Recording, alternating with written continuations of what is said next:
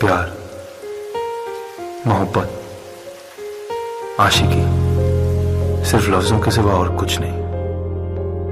पर जब वो मिली, इन लफ्जों को मायने मिल गए। क्योंकि तुम ही हो, अब तुम ही हो, ज़िंदगी